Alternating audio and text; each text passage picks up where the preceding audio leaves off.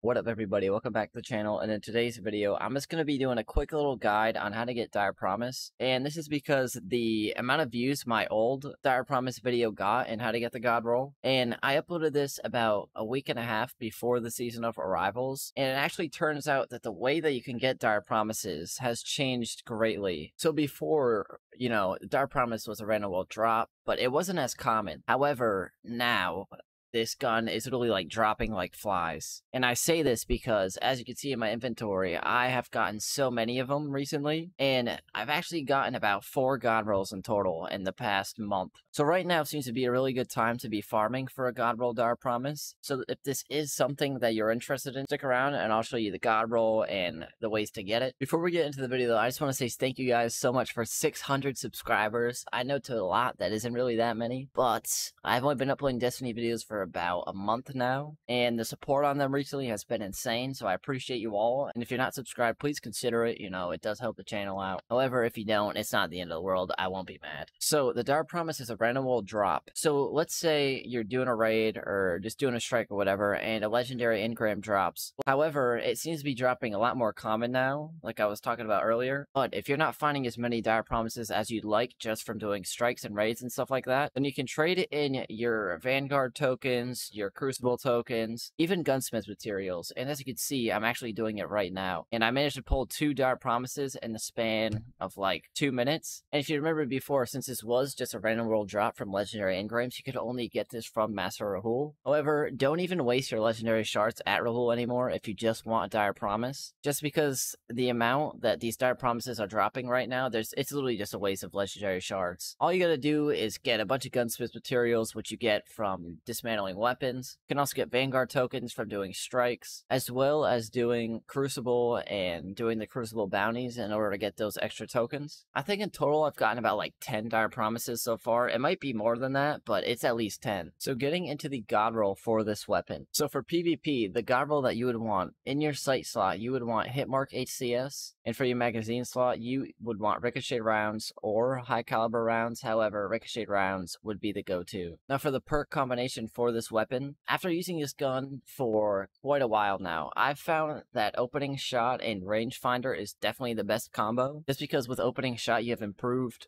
accuracy and range on the opening shot in your mag. So for your masterwork slot, you can either have stability or range. You definitely want the range masterwork on this gun, but stability for hand cannons is also nice to have. Now this gun does have a power limit of 1310, which means until the end of season 13. So it means that this gun will not be sunset until the end of season 13. And what sunsetting is, it's basically the power limit of what the gun can go up to. It can only go up to 1310. Once season 14 comes along, you will not be able to upgrade this gun to a higher light level anymore. But that is quite a ways away, so you definitely want to make sure you get this gun while it is dropping a lot right now. I don't know if that's going to change in the future or not. So now's the time to get that god roll, and hopefully this video did help. If it did, be sure to like, comment, and subscribe. I really would appreciate it, and I will see you all in the next one, alright? Peace.